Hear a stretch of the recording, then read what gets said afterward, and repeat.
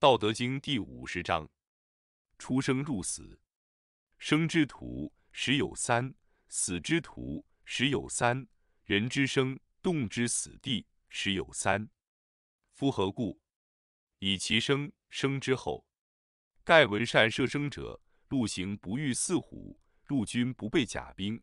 四无所投其脚，虎无所措其爪，兵无所容其刃。夫何故？以其无死地。